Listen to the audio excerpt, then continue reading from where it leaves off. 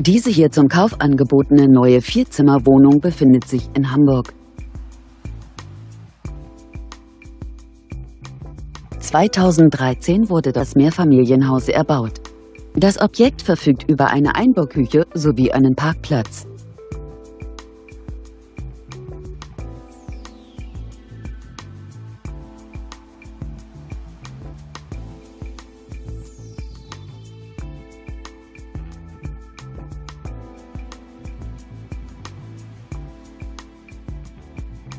Die Wohnung bietet eine Wohnfläche von ca. 111 Quadratmetern.